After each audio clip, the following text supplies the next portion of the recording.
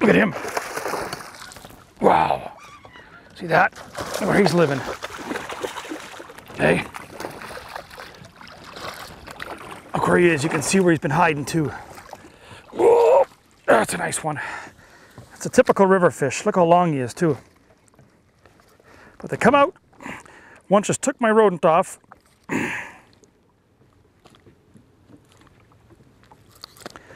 put it back in, shook it around, changed it up, and look at that. That's a nice long river fish, eh? Beautiful thing. And look where he came from, right here. See the colors of him? Right there. Look at it. Crisscrossing logs, rocks here. It's a perfect spot right here. See how dark that is?